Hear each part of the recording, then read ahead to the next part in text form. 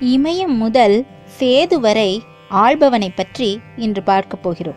லக்னாதிபதியும் பதினொன்று குடையவனும் இணைந்து ஐந்தாம் இடத்தில் நல்ல நிலைமையில் இருக்க நாலாம் வீட்டிற்குடையவன் மூன்றாம் வீட்டில் இருக்க அந்த மூன்றாம் வீட்டிற்கு பத்தாம் இடத்ததிபதி ஐந்தாம் இடத்தில் உள்ள லக்னாதிபதியுடன் போய் சேர்ந்தால் அந்த ஜாதகன் இமயம் முதல் சேது சமுத்திரம் வரை பூமியை ஆளும் பேரரசனாக இருப்பான்.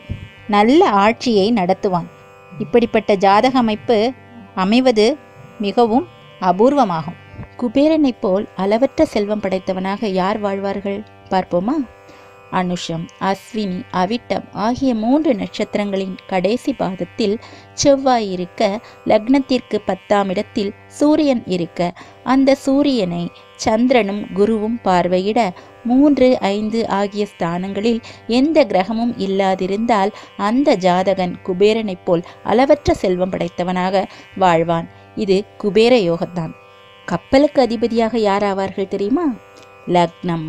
மகர ராசியாய் இருந்து அதில் செவ்வாய் உச்சமாக இருக்க அதற்கு ஒன்பதாவது இடத்திலேயோ பன்னிரெண்டாவது இடத்திலேயோ தனித்து சுக்கிரன் இருந்து ஏழாம் இடமாகிய கடகராசியில் சூரியனும் சந்திரனும் சேர்ந்து இருந்தால் அந்த ஜாதகன் புகழ் உடையவனாக திரளான பெரும் பொருள் ஈட்டி கப்பல் போக்குவரத்து நடத்துவனாக இருப்பான். அதாவது கப்பலுக்கு அதிபதியாக இருப்பான்.